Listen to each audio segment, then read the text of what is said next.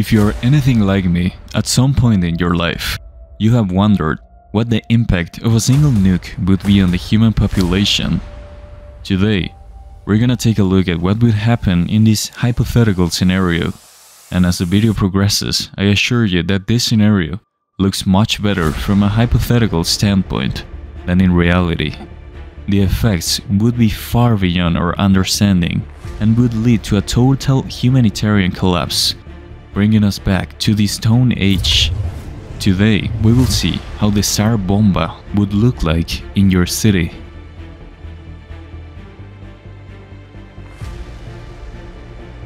This 50 megaton multi-stage nuke was the largest ever detonated by the Soviet Union in 1961.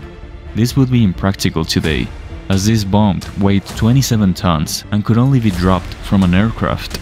Today, we possess ballistic nuclear weapons, which are self-propelled at several times the speed of sound, though they have less power than the nuke we will use as an example here. The detonation would occur once the nuke reaches approximately a thousand meters above the surface. Up until this point, the impact that this device is going to have is yet to be revealed.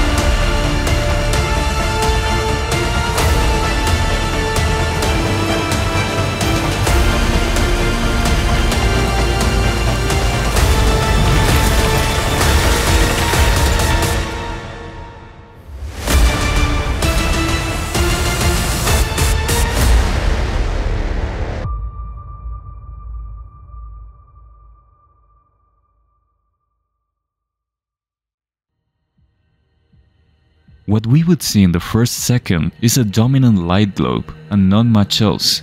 A globe with a light so powerful that would instantly blind us. A few seconds later, this light, traveling at 300,000 km per second, would make the day extremely bright and create an extremely intense light, blinding us if we are within a radius of 100 km.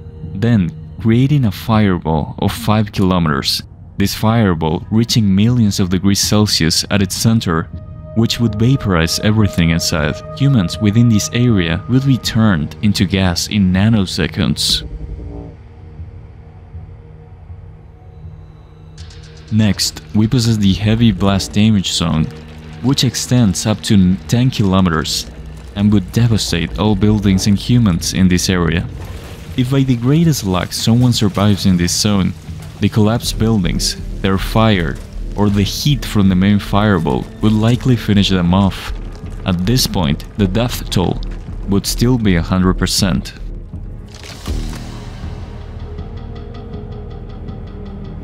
Then, we possess the moderate blast damage zone with about 5 psi.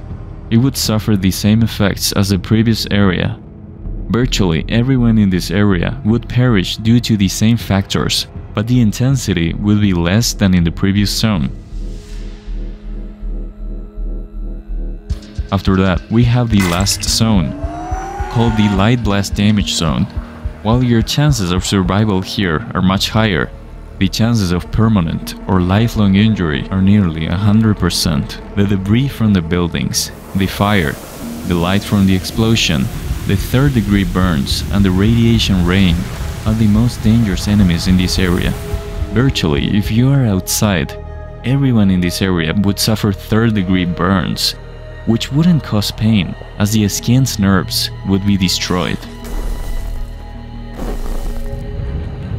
Some buildings with weaker architecture and infrastructure could easily collapse like this due to the shockwave within a 50 kilometer radius. The debris being dragged at extremely high speeds could reach you and end your life. Or if you don't escape quickly enough, the radiation rain from the center would reach your area and kill you slowly leading you to your final days feeling like you are in hell, just as many radiation poisoning victims have experienced. After this, all the buildings, homes, and human constructions within a radius of about 250 kilometers, depending on the topology of your city, would suffer severe damage from the shockwave of the explosion. If your city is in a hilly or mountain area, this radius would be smaller, but if your city is in a flatter area, this radius could be even larger.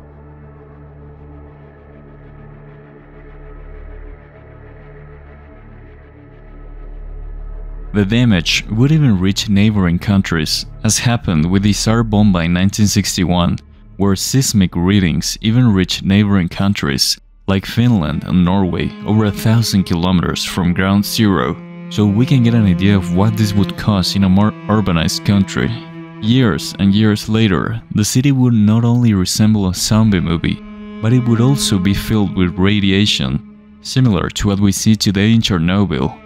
With all life completely destroyed, all animals, plants, living beings, humans, buildings, and everything you could imagine virtually erased from reality, this would become a science fiction scenario turned into reality. Estimating the fatalities from a 50 megaton nuke is both difficult and easy at the same time. That is, probably 99% of the people in a large city would disappear. I'll leave you with this page that approximates the number of fatalities from every nuke ever made by humanity. You just need to plug in your city.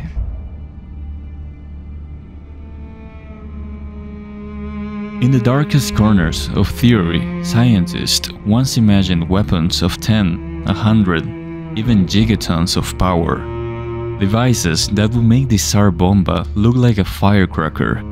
Ideas floated about bombs that could fracture countries or trigger extinction-level winters. Fortunately, the poor scalability of fusion makes this impractical and almost literally impossible. Nuclear energy and consequently nuclear weapons are two sides of the same coin, but with very different faces.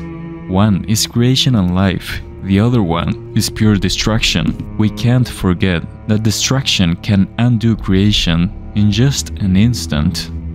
We have the power to destroy the world, but we also have the power to protect it. Let us never forget which side of the coin matters most.